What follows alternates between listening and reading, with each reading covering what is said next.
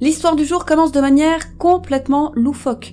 Tout commence à Portland, dans l'Oregon, avec une exposition de mauvais goût. Sont présentés des corps humains qui ont été en quelque sorte embaumés et qui sont présentés dans diverses positions, et l'un des spectateurs de cette exposition croit reconnaître parmi ces corps celui d'une célèbre animatrice qui officiait dans sa ville natale en Chine et qui a disparu du jour au lendemain sans laisser de traces.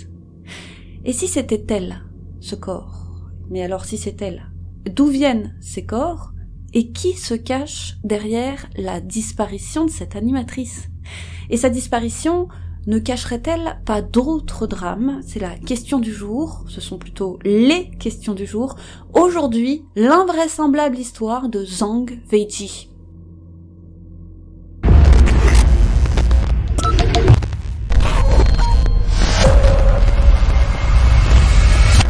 N'hésitez pas les amis à vous abonner et à liker la vidéo si ce n'est pas déjà fait. La belle Zhang est une présentatrice télé populaire qui officie sur la chaîne de télévision chinoise Dalian TV. En 1995, lors d'un événement mondain organisé dans la ville de Dalian, justement, elle rencontre Bo Xilai, le maire de la ville de Dalian, une ville de la province du Liaoning en Chine. Bo Xilai est beau, il est charismatique, il est dynamique, et c'est également un politicien populaire à la carrière prometteuse. Il est une sorte de JFK chinois. Zhang tombe rapidement sous son charme et avec le temps ils deviennent de plus en plus proches jusqu'à entretenir une liaison à l'insu de l'épouse de Boxilai, une certaine Gu Kailai, qui est alors sa seconde épouse. Cette liaison dure 4 ans jusqu'en 1998 quand Zhang disparaît mystérieusement sans laisser de traces alors même qu'elle était enceinte de huit mois et sur le point d'accoucher. Du jour au lendemain, elle n'apparaît plus à la télévision et personne ne sait ce qu'elle est devenue. Avec le temps, Zhang tombe dans l'oubli, aucune enquête n'est diligentée et elle ne refera plus parler d'elle jusqu'en 2012 lors de la fameuse exposition Le mystère du corps humain qui se déroule alors à Portland dans l'Oregon, aux États-Unis. Cette exposition présente de véritables corps humains, il serait plus juste d'ailleurs de parler de cadavres, des corps qui ont été plastinés, c'est-à-dire que l'eau et les graisses contenues dans les tissus de ces corps ont été remplacés par une matière plastique telle que le silicone, le polyester ou encore la résine époxy afin justement de pouvoir préserver ces corps. Cette méthode de préservation de corps est appelée la plastination et elle a été créée par Gunther von Hagen qui est un anatomiste allemand alors très controversé. Il est le créateur de cette fameuse exposition qui est tout aussi controversée que lui car elle pose de nombreuses questions d'éthique et même de légalité. Alors peut-on exhiber des cadavres humains de la sorte et peut-on en faire des œuvres d'art? Sans compter que dans cette exposition, donc il faut savoir qu'elle a pour but de montrer ce qu'il se passe à l'intérieur du corps humain, donc ces cadavres n'ont pas leur peau, et en plus de ça, certains corps sont exposés dans des positions ridicules qui, selon beaucoup de personnes, portent atteinte à la dignité humaine. En plus de cela, il y a un autre problème très grave, on ne sait pas vraiment d'où proviennent ces corps. Et von Hagens est soupçonné d'avoir secrètement acheté ces corps, corps qui pour certains auraient été récupérés auprès de prisons chinoises. Donc ce seraient là des prisonniers exécutés en Chine en réalité. Et donc ça pose encore un autre problème éthique si on ne peut pas retrouver les identités de ces personnes et que l'on ne peut pas confirmer qu'elles aient volontairement donné leurs autorisations pour que leur corps soit exposé de la sorte, est-il moral de le faire? En dépit de tous ces problèmes, l'exposition Le mystère du corps humain a eu lieu dans une multitude de villes à travers le monde, telles que Berlin, New York ou encore Montréal. Cependant, sachez qu'en France, la loi est claire, toute atteinte à l'intégrité d'un cadavre par quelque moyen que ce soit est punie d'un an d'emprisonnement et de 15 000 euros d'amende. Mais l'exposition devait tout de même se tenir en 2009 au Musée de l'Homme ainsi qu'à la Cité des Sciences de la Villette à Paris. Mais de nombreuses personnes étaient contre car ils considéraient justement cette exposition comme contraire à l'éthique. Le comité consultatif national d'éthique français s'était donc penché sur la question et ils en avaient conclu qu'il s'agissait là bel et bien d'une atteinte à l'identité et à la dignité. Ils ont également ajouté qu'ils soupçonnaient Von Hagens d'un trafic de condamnés à mort chinois qu'il aurait utilisé à des fins médicales et ce sans l'autorisation des familles.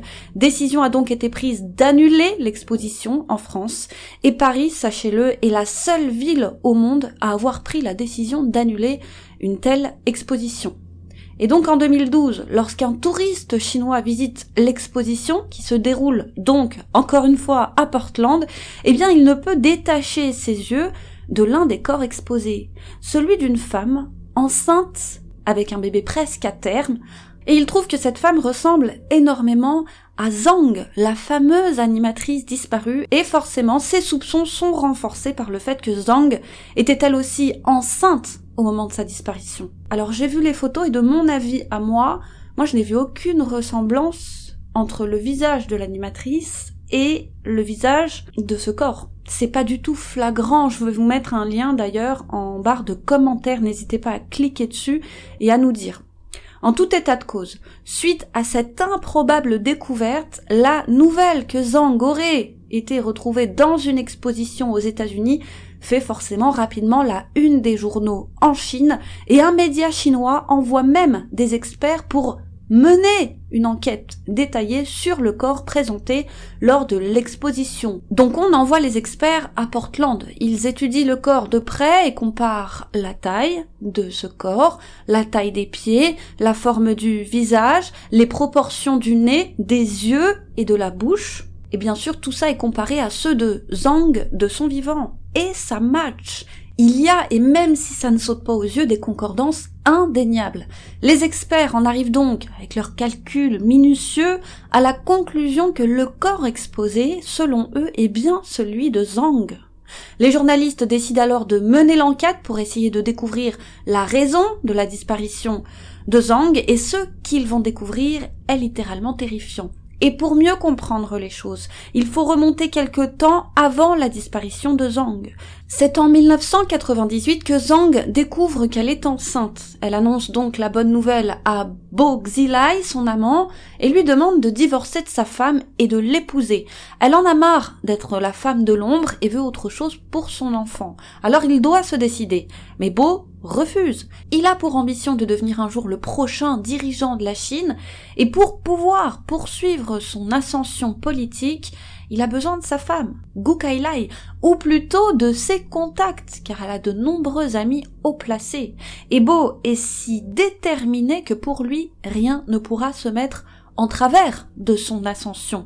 Il veut viscéralement prendre sa revanche sur la vie, lui qui a une enfance difficile. Il faut savoir qu'il a grandi pendant la révolution culturelle, période durant laquelle Mao avait mobilisé les gardes rouges pour purger le pays de tous ses rivaux politiques dont faisait partie justement le père de Bo Xilai, nommé Bo Yibo, qui n'est autre que l'un des membres fondateurs du Parti communiste chinois. La mère de Bo avait été assassinée par les gardes rouges, quant à son père, et lui-même d'ailleurs, ils avaient été emprisonnés. Et son père avait même été torturé. Par chance, peu de temps après la mort de Mao, son père avait fini par obtenir la place de vice-président du Parti communiste chinois, et c'est grâce à lui que Bo avait fini par obtenir le poste de maire de la ville de Dalian. Et cette épreuve avait profondément marqué Beau, et il était persuadé que si sa famille avait autant souffert, eh bien c'est parce que son père n'était tout simplement pas assez puissant. Et c'est pour cette raison qu'il est devenu obsédé par le pouvoir. Et donc pour lui, divorcer de sa femme pour épouser Zhang, une simple présentatrice télé, était hors de question. Sur l'échelle sociale, elle n'arrivait pas à la cheville de sa femme. Gu Kailai, célèbre avocate et fille d'un général du parti communiste et proche de nombreux politiciens influents. Il sait qu'il a besoin d'elle pour atteindre son objectif ultime. Il répond donc à Zhang que non, il ne quittera jamais sa femme pour elle. Zhang a le cœur brisé, elle, qui jusque-là avait gardé secrète sa double vie, commence alors à se confier à ses proches. Elle leur avoue pour sa liaison avec Bo et aussi pour leur enfant. Malheureusement, les personnes à qui elle s'est confiée n'ont pas gardé le secret et Gu Kailai a fini par avoir vent de la liaison entre son mari et Zhang. Et en apprenant la nouvelle forcément, elle est furieuse, mais elle ne se voile pas la face pour autant. Elle a conscience que son mariage est malheureux et que son époux a eu de nombreuses liaisons avant elle, mais elle avait toujours fermé les yeux, car tout comme son mari, elle aussi était redoutablement ambitieuse et avide de pouvoir. Et elle tient à conserver sa place d'épouse du maire de Dalian. Mais un enfant illégitime, c'en est trop pour elle. Elle ne l'accepte pas. Furieuse, elle décide alors de se venger de Zhang. Elle utilise donc ses connexions pour la faire licencier de son poste d'animatrice et elle fait même appel aux forces spéciales pour qu'ils la kidnappent et qu'ils l'emmènent à l'hôtel Nanshan situé à Dalian. Là-bas, Zhang est retenue prisonnière dans la chambre 408 de l'hôtel et c'est justement peu de temps après son arrivée à l'hôtel qu'on perd toute trace d'elle. Egu ne s'arrête pas en si bon chemin puisqu'elle fait ensuite effacer les informations personnelles de Zhang et toutes les vidéos où elle apparaît. Et à cause de ça, malheureusement, il ne reste à ce jour plus aucune vidéo de Zhang, seulement quelques photos. Imaginez la masse de vidéos qui a été supprimée, car Zhang était l'une des animatrices stars de cette chaîne de télévision. Et comme Zhang a disparu en 1998, une époque où Internet n'était pas aussi développé qu'aujourd'hui, il a probablement été très facile pour Gu de la faire totalement disparaître. Et ça, tout ce que je vous raconte sur le kidnapping, la chambre 408, forcément, au début, personne ne le sait. Tout sera découvert plus tard. À ce moment, on sait juste que l'animatrice a disparu. Et toute trace d'elle aussi. Donc, quand l'affaire de sa disparition a éclaté, les journalistes ont vite conclu que faire disparaître son existence de la sorte montre que la personne qui lui en voulait devait être très puissante pour d'une part avoir accès à toutes ces informations personnelles et ainsi pouvoir carrément modifier les registres d'état civil et d'autre part pour avoir accès aux bandes vidéo des émissions de télé qu'elle présentait. C'est pour cette raison que les journalistes ont soupçonné assez rapidement Gu Kailai. Mais ce ne sont pas les seules raisons pour lesquelles ils pensent que Gu Kailai est responsable de la disparition de Zhang. Il est de notoriété publique que Van Hagens, le créateur de la fameuse exposition, était justement proche de Bo et de sa femme. Et l'une des usines en charge de la plastination des corps se situait même à Dalian. Et devinez qui était la directrice de cette usine? Gu Kailai. Et donc le maire était beau, alors imaginez le nombre de coïncidences. Alors pour les journalistes, il est vite devenu évident que Gu a éliminé Zhang, puis fait plastiner son corps pour se venger et pour faire disparaître toute trace d'elle. Et si on sait tout ça, c'est parce que des témoignages vont dans ce sens. Un ancien employé de cette usine a affirmé à des journalistes anglais que l'usine recevait des camions remplis de corps, mais qu'aucune identité n'était associée à ces corps.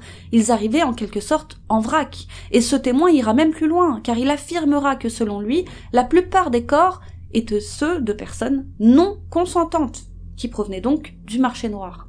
Et cet homme s'est plus tard rétracté, affirmant qu'il avait menti. Ça, ce n'est pas du tout étonnant. Beau et Goût sont extrêmement puissants dans le pays. Et forcément, les journalistes pensent qu'il s'est rétracté, donc, car il avait peur pour sa vie. Et aussi peut-être qu'il avait peur des sanctions que le régime chinois aurait pu prendre à son égard, car il ternissait là l'image du pays à l'international. Suite à toutes ces rumeurs et à l'importance que prend l'affaire, la police se décide enfin à ouvrir une enquête. Et il commence par interroger Van Hagens. Et lors de son interrogatoire, il avoue aux policiers avoir vu certains corps qui se trouvaient dans l'usine de Dalian avec des impacts de balles au niveau de la tête. Et il a d'après lui, appris seulement par la suite que c'étaient là des prisonniers exécutés, et que bien évidemment, il n'était au courant de rien. Cependant, il affirme qu'il n'a jamais utilisé ces corps-là, il affirme donc qu'ils ont été incinérés. Et bien qu'il n'ait jamais pu expliquer la provenance des corps qu'il a utilisés, il a toujours affirmé que ce n'étaient pas des prisonniers chinois. Mais à d'autres, pour les journalistes et la population, il est clair que parmi eux se trouvaient bien des prisonniers chinois et qu'ils ont été exposés sans que ni la personne ni sa famille n'aient donné leur accord. il semble également que Van Hagens n'a pas obtenu des corps qu'en Chine, certains venaient d'autres pays. On découvrira par exemple en 2002 qu'un médecin légiste sibérien du nom de Vladimir Novosilov avait vendu illégalement 56 cadavres à l'Institut Heidelberg. Corps qui seront utilisés ensuite par Van Hagens Toutefois, Von Hagens n'a pas été inculpé dans cette affaire, il a juste été appelé à témoigner contre ce médecin légiste sibérien lors de son procès.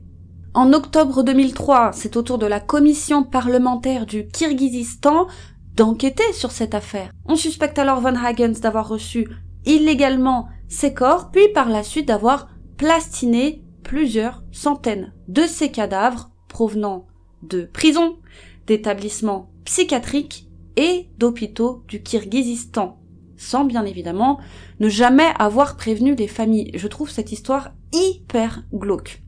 Et lors de son interrogatoire par la police, Hagens avoue. Il avoue avoir reçu neuf cadavres d'hôpitaux du Kirghizistan, mais affirme qu'aucun d'entre eux n'a utilisé dans l'une de ses expositions. Il trouve toujours une parade. Mais alors, comme en Chine, à l'époque de la mort de Zhang, les mineurs et les femmes enceintes ne pouvaient pas être condamnés à la peine capitale, ils savent déjà que le corps de cette femme enceinte ne peut être celui d'une prisonnière. Et pour beaucoup, il est indéniable que cette femme enceinte, c'est bien Zhang. Le témoignage d'un autre employé de l'usine va dans ce sens. Cet homme qui a souhaité garder l'anonymat affirme un jour avoir reçu une demande un peu spéciale. Celle de récupérer le corps d'une femme décédée justement, devinez où, dans la chambre 408 de l'hôtel Nanshan à Dalian. Selon lui, on lui aurait proposé une grosse somme d'argent en échange de ce service ainsi que de sa discrétion. Il s'était donc rendu dans la chambre 408 de l'hôtel et c'est quand il a vu le corps qu'il s'est rendu compte que c'était celui de l'animatrice Zhang, animatrice qu'il avait vue de nombreuses fois à la télévision. Alors il était surpris, mais ça ne l'a pas empêché de poursuivre sa mission. Il a donc transféré le corps de Zhang de l'hôtel à l'usine de Dalian, la même qui est chargée de la plastination des corps. L'affaire n'a de cesse de gagner en visibilité, elle est si incroyable, si sordide, qu'elle fait rapidement le tour du pays et même du monde. Et ça oblige Van Hagens à parler. Il finit par s'exprimer dans les médias, il explique que la femme enceinte présentée lors de l'exposition est celui d'une amie chinoise de sa femme qui avait fait don de son corps à la science avant sa mort. Cependant, Von Hagens refuse de révéler son identité car d'après lui, la famille de cette femme souhaitait garder l'anonymat. Et bien évidemment, cette explication bancale ne convainc personne. L'opinion publique pense que c'est là bel et bien le corps de Zhang et qu'elle a été tuée par goût. C'est aussi simple que ça. Et même si grâce à ses contacts haut placés, Gu n'a jamais été arrêté pour ce crime, les doutes des Chinois n'ont fait que se renforcer lorsqu'ils ont appris, encore quelques années plus tard, en 2012, que Gu a été accusé d'avoir empoisonné à mort un homme, un certain Neil Hewood. Et voici donc cette sordide histoire d'empoisonnement. Mais pour bien la comprendre, il faut en expliquer tout le contexte, et donc de parler de la famille de beau et goût. Donc nous allons faire une petite pause dans le récit concernant Zhang. Pour que vous puissiez bien vous faire votre propre idée quant à l'innocence ou à la culpabilité de goût, et vous verrez, la mort de Neil est entourée aussi de mystères. Ce Neil est né le 20 octobre 1970, il a grandi à Battersea en Angleterre, son père était un agent de change, Quant à sa mère, elle était télévendeuse. Il a étudié à la Harrow School, qui est l'une des écoles privées les plus célèbres du monde. Un grand nombre d'élèves étant passés par cette école sont devenus par la suite des célébrités telles que Winston Churchill ou encore l'acteur Benedict Cumberbatch, qui n'est autre que Sherlock. À l'école, Neil est un enfant calme et discret et il passe inaperçu. À la fin de sa scolarité à Harrow, il étudie les relations internationales à l'université de Warwick, À la fin de ses études universitaires, il décide de tenter sa chance en Chine, car à cette époque, l'économie chinoise, donc dans les années 90, était en plein essor. Il s'installe à Dalian, en Chine, et là-bas, il trouve rapidement un poste de professeur d'anglais dans une école privée de la ville. Et peu de temps après son arrivée en Chine, il rencontre une femme du nom de Wang Lulu qu'il épouse, et ils auront ensuite deux petites filles. Au même moment, Bo Xilai, le maire de Dalian, devient de plus en plus populaire auprès de la population de la ville, population qui a confiance en lui car il semble vraiment se soucier d'eux et faire tout ce qui est en son possible pour améliorer leur qualité de vie. Il modernise par exemple drastiquement Dalian, ainsi de nombreux hommes d'affaires étrangers vont venir s'installer dans la ville pour profiter du boom économique que connaît cette ville. En 1999, Gu Kailai, qui souhaite que son fils Bogaga reçoive la meilleure éducation possible, inscrit alors Gaga, qui était alors âgé de 10 ans, dans une école de langue réputée de la ville de Bournemouth, en Angleterre. Elle décide alors d'abandonner sa carrière d'avocate et de tout quitter pour déménager avec lui en Angleterre. Entre-temps, les ambitions de Neil grandissent, il ne veut plus être un simple professeur d'anglais, ça ne lui suffit plus. Alors en 2002, il crée une entreprise, la Neil Ewood and Associates, dont le but est de conseiller les entreprises anglaises qui souhaitent s'installer en Chine. À ce moment, il se rend compte que pour faire prospérer son affaire, il a besoin de contacts haut placés et la chance va lui sourire puisqu'en 2003, il rencontre Boxilai ainsi que sa femme, à savoir Gu et le petit Bogaga, tout à fait par hasard, dans un restaurant, le Royal China Club à Londres. Pour Neil, c'est une occasion en or de se rapprocher du maire de Dalian et de sa femme. Neil s'exprime bien, et il fera d'ailleurs bonne impression au couple. Il a de nombreux contacts dans la haute société britannique et il fait comprendre à la famille qu'il souhaite prendre le jeune Gaga sous son aile. Alors formidable, se disent Beau et Goût. Il est à noter quand même que les sources divergent quant à ces informations. Selon certaines autres sources, c'est grâce à Neil que Gaga a pu être accepté à la prestigieuse école Harrow, puisque oui, il s'agit de cette école-là. Mais selon des amis proches de la famille Beau, Gaga s'était déjà vu attribuer une place dans cette école au moment où Neil s'est rapproché de la famille Beau. Ce qui est pas étonnant, encore une fois. Beau est extrêmement puissant. Quoi qu'il en soit, Neil est la personne idéale pour devenir le mentor du jeune garçon, après tout. Il partage sa vie entre la Chine et l'Angleterre, il a lui aussi été scolarisé à Harrow, et il est enseignant. Alors Boxilai et Gukailai l'estiment digne de confiance et lui confie la tâche d'aider Gaga dans sa scolarité. Et c'est ainsi qu'en prenant Gaga sous son aile, Neil réussit à intégrer le cercle très fermé de l'une des familles les plus puissantes de Chine. Pendant son séjour en Angleterre, Gu s'occupe en concluant des accords commerciaux avec des entreprises anglaises, mais comme il est très mal vu en Chine pour une famille impliquée en politique de faire elle-même des transactions financières, c'est Neil qui conclut les affaires en son nom, jouant ainsi le rôle d'intermédiaire entre la famille Beau et les entreprises britanniques. Neil est chargé de transférer de grosses sommes d'argent aux partenaires commerciaux de goût qui se trouvent alors partout dans le monde. Mais il y a une ombre au tableau. Gou va rapidement soupçonner Neil de ne pas transférer les montants exacts des transactions.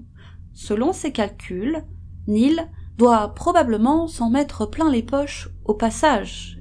Et donc la suspicion règne entre Neil et Gou qui font bien évidemment semblant de rien. Pendant ce temps, la réussite de Bo à Dalian finit par attirer l'attention des dirigeants du Parti communiste chinois, et c'est donc tout naturellement qu'en 2004, il est promu ministre du Commerce et s'installe donc à Pékin, l'épicentre du pouvoir. Et la promotion de Bo est une opportunité formidable pour Neil, qui décide alors de le suivre à Pékin. Remarquez qu'il est toujours dans ses pattes. Et Neil n'a pas fini d'en profiter puisque lorsqu'il rencontre des dirigeants d'entreprises britanniques qui sont désireuses d'investir en Chine, il n'hésite pas à se vanter et à leur faire comprendre qu'il est très proche de la famille Beau. Et grâce à ça, il va devenir une figure clé pour les entreprises britanniques intéressées par le marché chinois. Elle se bouscule donc à la porte de Neil pour faire affaire. Et de son côté, Gu voit elle aussi dans la promotion de son mari, Bo, une opportunité incroyable de s'enrichir. Elle quitte définitivement l'Angleterre et retourne en Chine pour elle aussi s'installer avec son mari à Pékin. Elle reprend même sa carrière d'avocate et fait en sorte que toute entreprise étrangère souhaitant travailler à Dalian doive nommer son cabinet d'avocat pour agir en leur nom. Elle en profite ainsi pour leur facturer des frais exorbitants et ces entreprises n'ont pas d'autre choix que de la payer, sans quoi ils ne peuvent obtenir les autorisations et licences nécessaires pour pouvoir faire affaire à Dalian. Alors on est dans la corruption avec un grand C. Et en parallèle, les affaires se portent bien pour Neil. Il gagne très confortablement sa vie. Mais les choses vont se gâter en 2007. Cette année-là se révélera être une année difficile pour la famille Beau. En décembre 2007, le père de Beau décède. Et c'était son modèle. Lui vivant, il était intouchable, mais à sa mort, Beau de l'influence, et ses ennemis politiques en profitent pour briser son ascension, pire même, sa carrière, au point où Beau est démis de ses fonctions de ministre du commerce et muté dans la mégalopole de Chongqing, située dans le sud-est de la Chine, pour y être secrétaire du parti. C'est un coup dur pour Bo Xilai, une sorte de rétrogradation, puisqu'en l'envoyant dans un endroit aussi reculé que ça, eh bien on l'éloigne tout simplement de l'épicentre du pouvoir, Pékin, et on limite donc son influence. Tout le monde pense alors que sa carrière politique est finie, et lui-même vit très mal la situation, mais il n'est pas le seul à mal vivre la situation à ce moment-là. Gu est elle aussi très affectée par ce changement de poste, mais en plus de ça, elle vit un autre drame, un drame personnel. Elle découvre qu'elle est victime d'un empoisonnement au mercure qu'on lui a administré via des pilules de compléments alimentaires à base de plantes. Donc on lui a trafiqué ces pilules. Elle découvre ainsi que c'est doucement, mais sûrement, que quelqu'un a décidé de la tuer. Elle porte plainte sans attendre et l'affaire est alors confiée à la police de Pékin en décembre 2007. Après une courte enquête, la police arrête le chauffeur de Kukailai et un de ses domestiques, interrogés par la police, les suspects avouent avoir agi sur les ordres du fils de Bogzilai. Et non pas Gaga. Non, il s'agit là d'un autre fils, plus âgé, issu du premier mariage de Bo. Ils expliquent qu'ils voulaient se venger de Gukailai pour avoir brisé le mariage de ses parents. Le fils de Beau nie bien évidemment ces allégations et sans preuve substantielle contre lui, eh bien, il n'est pas inculpé. C'est comme ça que Gu Kailai est devenu paranoïaque. Et malheureusement, cet empoisonnement a eu un réel impact sur sa santé. Les médecins pensent même qu'elle est condamnée. Et pour qu'elle ait un espoir de s'en sortir, on lui préconise de se concentrer sur elle à 110%, de se concentrer sur sa guérison et de ce fait de cesser toute communication avec la plupart de ses proches et pour ce faire on lui retire son téléphone, elle doit penser à elle et ne mettre son énergie qu'en sa guérison. Comme la famille Beau est tombée en disgrâce et parce qu'il est difficile d'entrer en contact avec Gou, eh bien Neil, de son côté, n'avait plus grand chose à offrir au businessman britannique qui souhaite faire affaire en Chine. Alors très vite, son entreprise se retrouve en très grande difficulté financière et il accumule rapidement des dettes. Il est donc obligé de chercher un nouveau travail et il finit ainsi par trouver un emploi de représentant pour Aston Martin. Fini la vie mondaine pour Neil et désespéré, à l'été 2008, il contacte Gaga, le fils du couple, dont il était en quelque sorte, souvenez-vous, le mentor, pour lui demander une grosse somme d'argent. Dans son mail, il explique à Gaga qu'il lui doit dans le fond cet argent, en remboursement de tout ce qu'il a fait pour lui par le passé. Suite à cet email, Gu et Gaga acceptent de rencontrer Neil dans un salon de thé de la place Tiananmen. Lors de cette entrevue, Neil leur explique qu'il ne souhaite pas réellement cette grosse somme d'argent, mais seulement qu'il l'aide financièrement dans ce moment difficile. Et au final, après une longue conversation, Gu refuse d'aider financièrement Neil, mais celui-ci ne leur en tient pas rigueur et à la fin de cette entrevue, Gu et Neil ne semblent pas en réalité être en froid. En parallèle à ce moment, le sentiment général, c'est que Beau, tombé en disgrâce, ne pourra jamais revenir sur le devant de la scène politique, mais c'est mal connaître Boxilai. Abandonné n'est tout simplement pas dans sa nature. Il est loin de se laisser abattre puisque depuis Chongqing, il commence sa reconquête du pouvoir et pour ce faire, peu de temps après son arrivée, il a lancé l'opération Strike Back. Retenez bien cette opération. À savoir en français, riposter dans le but de s'attaquer au crime organisé de Chongqing et il confie la lourde tâche de mener à bien cette opération au célèbre chef de la police de la ville de Chongqing, à savoir Wang Lijun. Et Wang était devenu proche de la famille de Bo peu de temps avant 2007, période à laquelle Gu, souvenez-vous, avait été empoisonné. Il avait participé à l'enquête, d'ailleurs, sur l'empoisonnement de Gu et avait gagné la confiance du couple. Et ça va même au-delà. À ce moment, Bo considère que si Gu est encore en vie, c'est probablement grâce au chef de la police, Wang. Il lui faisait tellement confiance qu'il lui avait même confié la tâche de superviser les médecins de Gu. Il était même chargé de lui-même donner ses médicaments à Gu. Il était si proche d'eux qu'il était l'une des trois seules personnes à savoir que Neil réclamait de l'argent à Gu. Et voici qui est Wang, le flamboyant Wang. Eh bien, il est du genre excentrique. Il adore attirer l'attention, il aime faire la une des médias et n'hésite pas à faire le show en débarquant par exemple sur des scènes de crime au volant de sa Jeep, en freinant de manière assez grandiloquente, en tirant des coups de fusil en l'air et en criant carrément Wang Li-jun est là pour attirer l'attention. Voilà. Au moins ça a le mérite d'être clair. Wang est exubérant, et narcissique certes, mais il n'en reste pas moins un grand professionnel. C'est ainsi qu'il s'est mis sérieusement au travail quand Beau lui a confié la lourde tâche de s'occuper du crime organisé de la ville. Il a traqué sans relâche les businessmen les plus puissants de Chongqing, suspectés justement d'avoir des liens avec le crime organisé. Et il faut savoir qu'en plus d'être un narcissique fini, d'être un mégalomane fini, Wang était aussi un homme cruel et sans cœur. Alors, il a utilisé des méthodes littéralement immondes pour obtenir des aveux de la part de ces businessmen qu'il suspectait de corruption.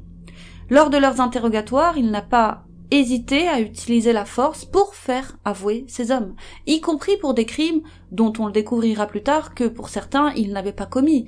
Il leur donnait des coups de fouet pour les faire avouer à propos de diverses pots de vin et de fraude, et il a même utilisé un redoutable instrument de torture appelé la chaise du tigre. Les chaises du tigre sont des chaises en acier comportant des armatures métallique pour attacher par les poignets la personne alors assise et pour l'empêcher de déplacer ses jambes tout en la maintenant dans une position douloureuse. Et on maintient ainsi la position douloureuse des jours, voire des semaines. Et il a été avéré que Wang n'avait pas hésité à faire s'asseoir certains suspects sur cette fameuse chaise plus de, tenez-vous bien, 26 jours. Leur corps était couvert de bleu, était couvert de sang et ils étaient si traumatisés que certains s'étaient réveillés en pleine nuit hurlant Je confesse et ils avouaient, il faut le dire, tout et n'importe quoi. Imaginez, après des jours passés dans une position inconfortable, forcément, on avoue tout, on veut juste sortir de cette chaise. Alors ça les rend pas innocents pour autant, mais les méthodes quant à elles étaient quand même drastiques. Et donc on a découvert que c'est Wang qui leur dictait ce qu'il fallait avouer. De nombreux individus condamnés pour fraude au cours de cette opération affirment d'ailleurs encore à ce jour ne jamais avoir eu aucun lien avec le crime organisé. Ils pensent que c'était là simplement une excuse pour les supplicier parce qu'ils étaient tout simplement des opposants politiques de beau. Selon eux, ils ne sont que de simples hommes d'affaires, et tout ça aurait été orchestré dans l'unique but de les ruiner, car en Chine, si une personne est condamnée pour un crime en lien avec le crime organisé, le gouvernement a le droit légalement de réclamer tous ses biens. En d'autres termes, le gouvernement a le droit de les dépouiller.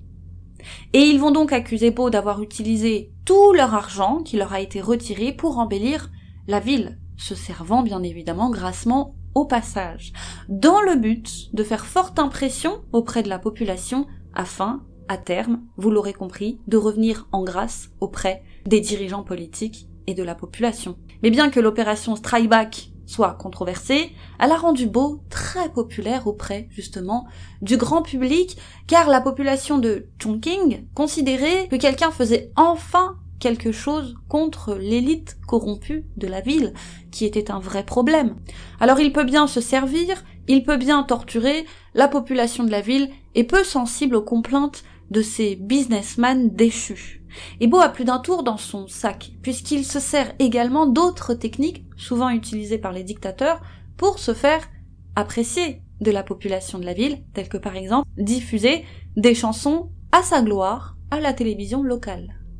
Il est clair qu'il fait tout ce qui est en son pouvoir pour retourner au sommet et ça semble marcher. Il revient peu à peu dans les faveurs de ses supérieurs et alors rien ne semble pouvoir l'arrêter. Neil, de son côté, est toujours en grande difficulté financière, il est même aux abois. Début 2011, son entreprise est littéralement au bord de la faillite, et sa situation est si désespérée qu'il décide d'envoyer un nouvel email à Gaga. Dans cet email, il lui explique avoir de très gros problèmes d'argent et ne pas pouvoir payer les frais de scolarité de ses enfants. Mais cette fois, il menace Gaga. Il exige 22 millions de dollars et le menace de révéler les investissements douteux de sa famille à l'étranger, qui s'élèvent tout de même à plus de 136 millions de dollars, s'il n'accède pas à sa demande. Et il finit par le menacer de la sorte. S'ils ne font rien, il va les détruire. Gaga n'est pas impressionnée pour dessous, mais Gou, la maman, elle, est tout de même inquiète. Elle décide donc de porter plainte contre Neil, et l'affaire sera finalement réglée à l'amiable hors tribunaux. On imagine qu'il y a dû avoir un, accord financier, je ne sais pas lequel. Mais finalement, à l'été 2011, Neil et Gaga décident d'enterrer la hache de guerre ils se retrouvent pour prendre un verre à l'hôtel 5 étoiles Saint-Régis à Pékin, et c'est ainsi qu'ils se rabibochent. Neil demande au jeune homme comment va sa mère, et Gaga lui explique qu'elle est toujours isolée de la plupart de ses proches à cause, souvenez-vous, de son empoisonnement, et que ainsi elle ne peut voir personne pour le moment. Et pendant l'été, donc 2011, la santé financière de Neil s'améliore. Il emménage avec sa famille dans une communauté fermée dite exclusive située à la périphérie de Pékin. Il achète également un bateau ainsi qu'une Jaguar dans laquelle il fait poser une plaque d'immatriculation contenant le nombre 007 en clin d'œil à James Bond. Et ses amis affirment qu'à ce moment, Neil semblait heureux et optimiste quant à l'avenir. Le 9 novembre 2011, quelques mois plus tard, Neil rejoint un ami au restaurant et il lui explique que Gu lui a donné rendez-vous le 13 novembre prochain au Lucky Holiday Hotel de Chongqing. Et toujours d'après cet ami, il semblait ne pas être inquiet à l'idée de revoir Gu. Au contraire, il espérait par là retirer un gain financier de cette rencontre. Et c'est ainsi qu'il fait ses valises et quitte Pékin pour se rendre à Chongqing. Il arrive au Lucky Holiday Hotel comme prévu dans la nuit du 13 novembre 2011. Cependant, une fois arrivé là-bas, il sent que Gu trame quelque chose. Alors qu'il est dans sa chambre d'hôtel, il contacte par téléphone un de ses amis pour lui confier qu'il ne sait pas exactement ce qu'il se passe, mais qu'il sent que quelque chose cloche. Et c'est seulement deux jours après cet appel que le corps de Neil le corps sans vie de Neil sera retrouvé par des employés de l'hôtel. Nous sommes alors le 15 novembre et la cause officielle de sa mort est une crise cardiaque qui aurait été causée par une consommation excessive d'alcool. Son corps est incinéré trois jours plus tard et à ce moment, personne ne se doute que sa mort cache en réalité quelque chose de bien plus sinistre. Un mémorial en son honneur a lieu à Londres, puisqu'il est originaire de Londres. Ses enfants, ainsi que sa femme, se rendent donc en Angleterre pour assister au mémorial. Et alors qu'on pensait cette histoire terminée, en février 2012, Wang Lijun, souvenez-vous, le chef de la police de la ville de Chongqing, eh bien, il se rend, tenez-vous bien, déguisé en vieille dame, alors tard dans la nuit, au consulat américain de Chengdu. Et là-bas, il demande l'asile politique aux diplomates présents. Mais aussi et surtout, il demande leur protection, car il explique avoir peur pour sa vie. Au sein même de l'ambassade, à son arrivée, il accuse Gu Kailai d'avoir tué Nil et confie également que Bo Xilai a utilisé son pouvoir pour tenter d'étouffer cette affaire. Et sachez qu'une grande partie des informations qui vont suivre proviennent directement des déclarations de Wang Lijun. Et donc certaines personnes contestent la véracité de son histoire. Donc ces informations, sachez-le, sont à prendre avec des pincettes. Mais voici donc sa version des événements. Selon lui, au moment du meurtre de Neil, Gu était instable psychologiquement. Elle prenait de nombreux médicaments, dont des antidépresseurs, sans compter qu'elle souffrait de graves insomnies. Stressée par les emails de Neil, elle a pris la décision de l'inviter le 13 novembre 2011 au Lucky Holiday Le soir du drame, ils ont dîné ensemble, puis se sont rendus dans la chambre de Neil pour boire un dernier verre. Et l'assistante de Gu, elle, a attendu Gu devant la porte. Les deux ont bu du whisky et du thé, sauf que Neil a tellement bu qu'il s'est mis à vomir. Il a alors demandé un verre d'eau à Gu, elle le lui a apporté, mais selon Wang, elle y aurait glissé du cyanure. Neil n'avait aucune chance. Une fois mort, Gu aurait dispersé donc des pilules partout dans la pièce pour donner l'impression que Neil avait fait une overdose. Et après avec son assistante elles auraient traîné puis déposé le corps de Neil sur le lit.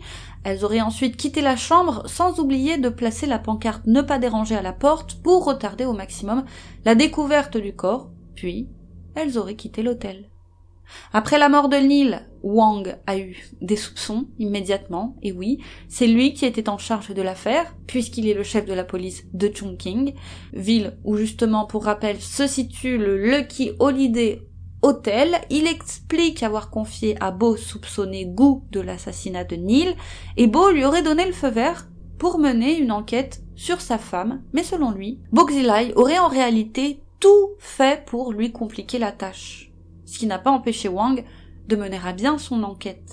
Et une fois qu'il a réuni suffisamment de preuves contre Gu, il est retourné voir Boxilai et lui a présenté les preuves. Et Boxilai l'aurait alors frappé au visage, si fort qu'il en a saigné de l'oreille. Et fou de colère, Bo a jeté son verre par terre. Et selon Wang, Bo n'était pas en colère parce que sa femme avait assassiné Neil, non, il était plutôt furieux que son chef de police n'est pas spontanément dissimulé le crime.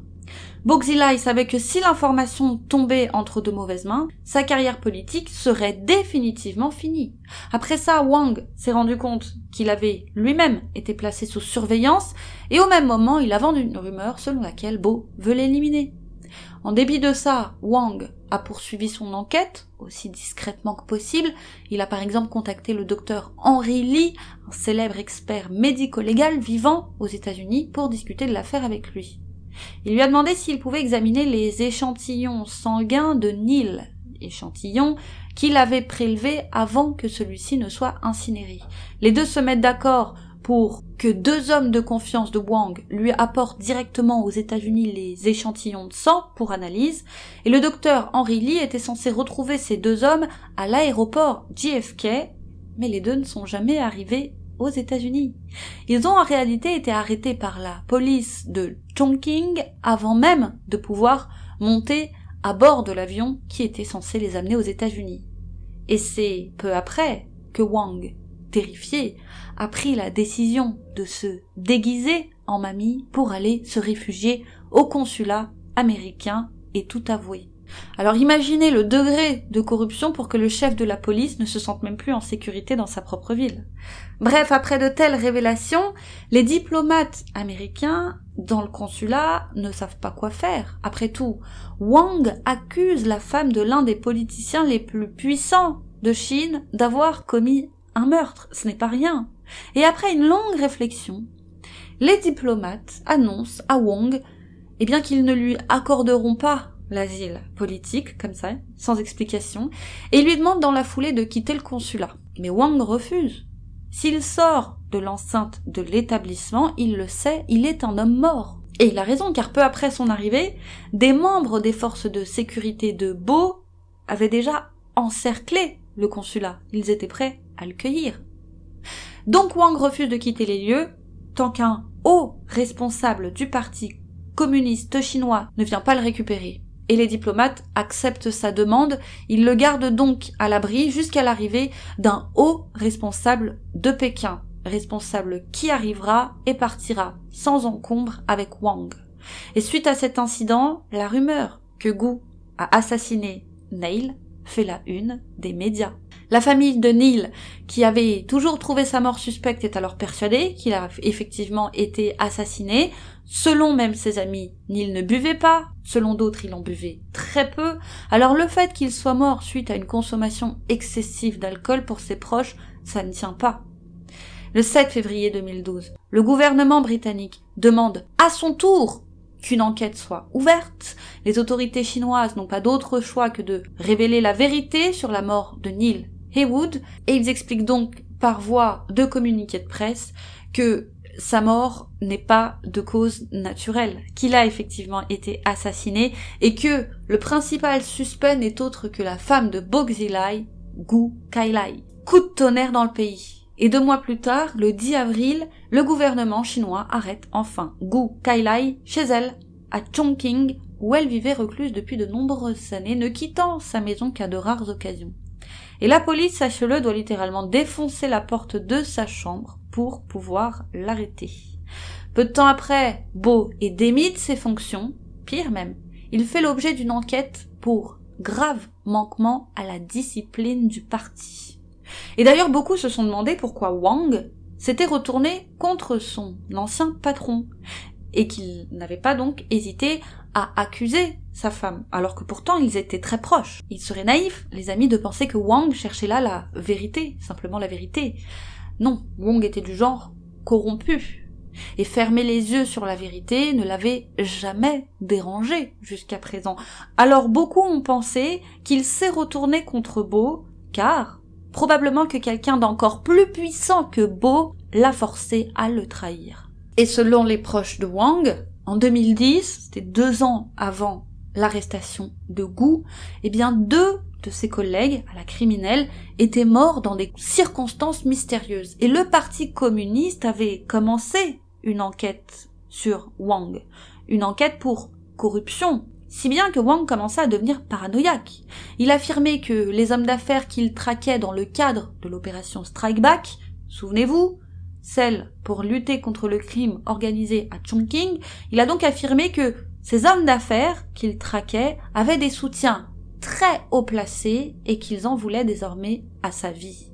Il avait peur des représailles de leur part et n'arrivait plus à en dormir. Il est devenu paranoïaque au point que sa secrétaire devait prendre une gorgée de son thé avant qu'il ne le boive et devait même prendre une bouchée de sa nourriture avant qu'il ne la mange. Et oui, il avait simplement peur que quelqu'un ne l'empoisonne. Mais, bizarrement, l'année suivante, un an avant l'arrestation de Gou, il ne semblait plus si stressé que ça. Au contraire, il semblait se sentir soudainement en sécurité. Et ça, c'est probablement, selon beaucoup, parce qu'il aurait conclu un accord avec des personnes puissantes pour qu'un terme soit mis à l'enquête pour corruption d'une part, et pour les aider à se débarrasser de Beau d'autre part. C'est le 9 août 2012 que s'ouvre le procès de Gu Kailai, fini les passe-droits, Gu a conscience que le gouvernement chinois veut sa peau, elle comprend alors que pour échapper à la peine de mort, il est préférable qu'elle se soumette et qu'elle ne fasse pas de vagues lors de son procès.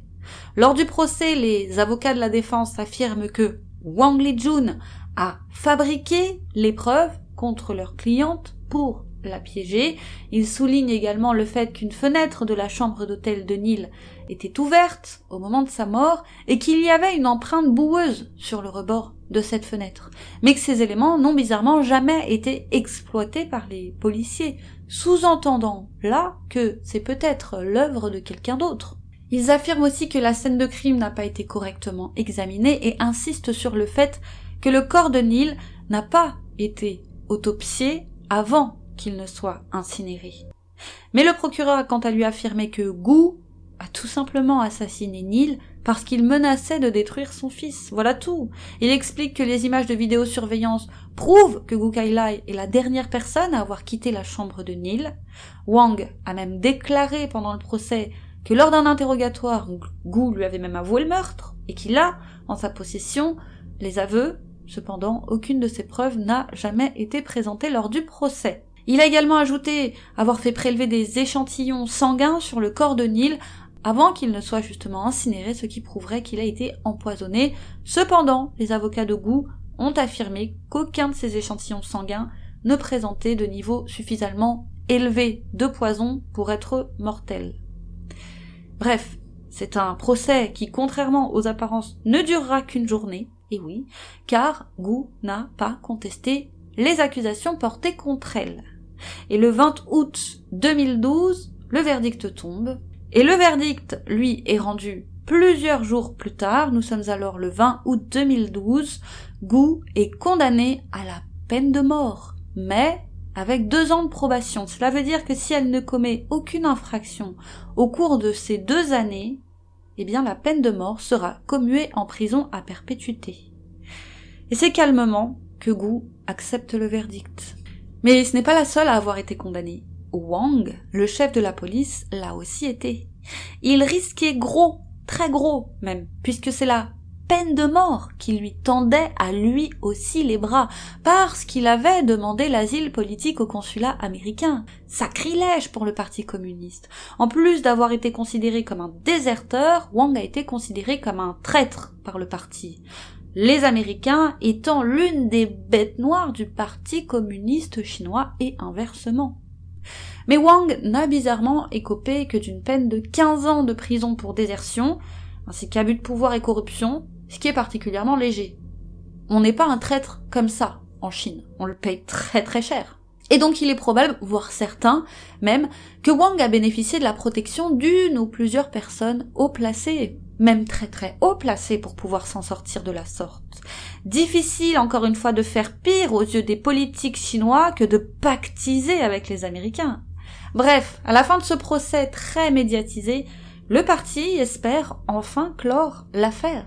Mais ce procès expéditif, qui n'a duré, rappelons-le, qu'un jour, a éveillé les soupçons. Beaucoup ont trouvé étrange que certains détails soient restés inexpliqués, même après le procès, que des analyses simples n'aient pas été effectuées car elles auraient pu être effectuées, hein. aucune trace non plus pendant ce procès des images de vidéosurveillance, c'est bizarre. Ce qui fait que beaucoup de Chinois vont devenir suspicieux. Selon eux, Neil était peut-être encore en vie après le départ de goût de la chambre d'hôtel. Une personne, selon cette théorie, serait alors entrée après son départ par la fenêtre de l'hôtel et aurait par la suite empoisonné Neil, soit en le forçant à avaler directement le poison, soit en glissant du poison dans son eau. Et selon donc les partisans de cette théorie, Wang Lijun aurait fabriqué des preuves pour faire accuser Gu Kailai dans le but de mettre un terme à la carrière politique de Bo Xilai. Et selon cette théorie, Gu n'avait aucune raison de tuer Neil. Après tout, bien qu'il lui avait demandé de l'argent, il s'entendait encore très bien. Et notamment avec Gaga. En plus de ça, peu de temps avant sa mort, rappelons-le, Neil avait réussi à rebondir. Il s'était acheté une nouvelle voiture de luxe, il s'était acheté un bateau, on ne s'achète pas un bateau comme ça si on n'a pas d'argent. Il n'avait donc plus vraiment besoin de l'aide financière de la famille de Beau et ne semblait plus représenter un danger pour Gu Kailai. Selon toujours cette théorie, c'est donc un coup du parti communiste.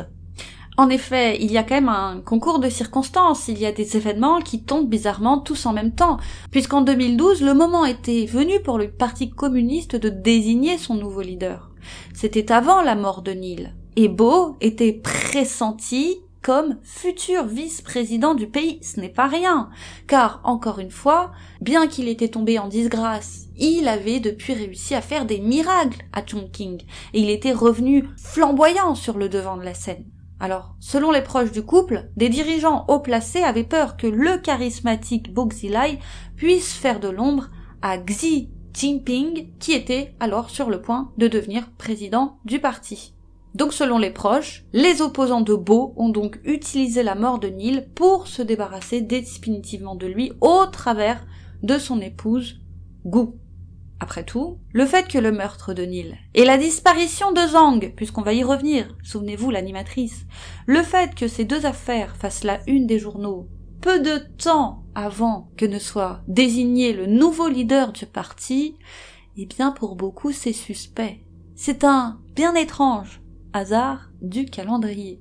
On va poursuivre un peu avant de parler de l'animatrice. Sachez qu'en 2013, Boxy Lai est à son tour accusé de corruption et d'abus de pouvoir. Il est reconnu coupable et condamné à la réclusion à perpétuité et tous ses biens lui ont été confisqués. Boxy Lai et Gu Kailai sont toujours, à ce jour, détenus en prison dans des lieux tenus secrets. Donc on ne sait pas dans quelle prison. Après leur condamnation, toutes les personnes ayant eu un lien avec la mort de Neil ont été arrêtées et ont reçu l'ordre de ne jamais parler aux médias et ils ont tous été placés sous surveillance. Les journalistes qui ont couvert le meurtre de Neil se sont plaints que les dossiers concernant l'affaire se trouvant dans leurs ordinateurs avaient disparu. Après la mort de Neil, des rumeurs avaient circulé sur le fait que Gou et lui étaient amants. Foutaise, selon les proches de Gou, elle avait certes rencontré Neil à plusieurs reprises, mais selon eux, et ils sont clairs là-dessus, ils n'étaient pas si proches que ça.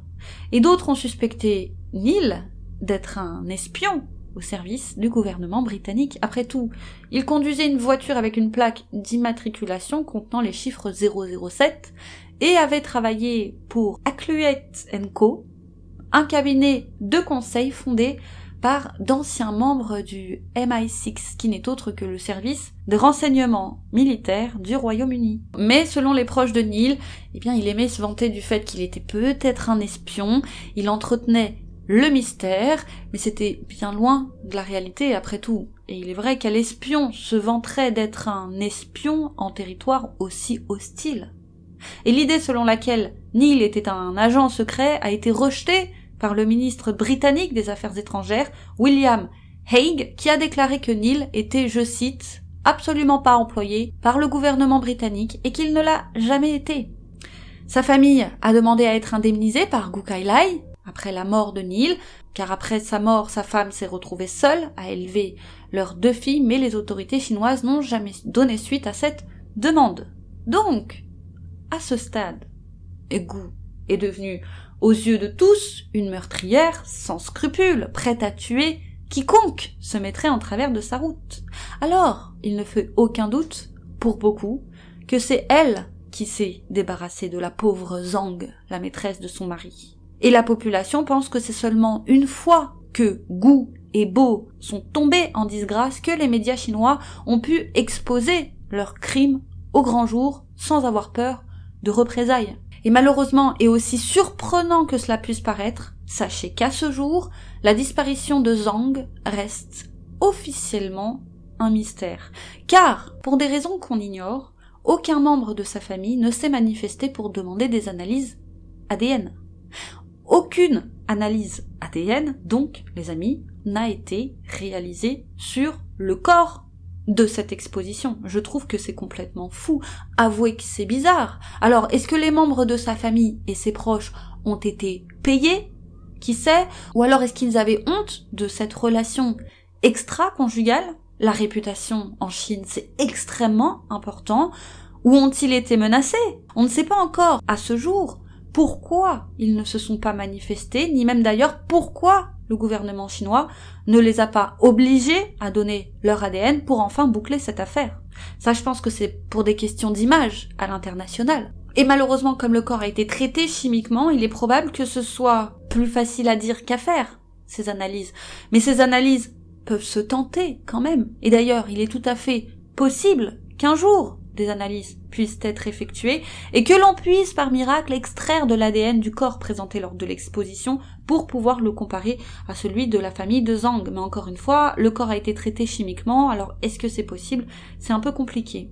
Donc à ce jour, nous ne savons toujours pas si le corps présenté lors de l'exposition, le mystère du corps humain, est bien celui de Zhang. Cela reste encore à ce jour donc un mystère, un mystère qu'il aurait été facile de résoudre, mais qui pour des raisons qu'on ignore et qui nous dépassent sûrement, eh bien, cette affaire n'a jamais abouti. Voilà, c'est tout pour aujourd'hui, les amis. Merci de nous avoir suivis. N'hésitez pas à liker cette vidéo si elle vous a plu, à vous abonner si ce n'est pas déjà fait, à nous suivre sur nos réseaux sociaux les YouCrim Sisters. Quant à moi, je vous dis à très vite sur YouCrim pour une autre triste histoire les amis.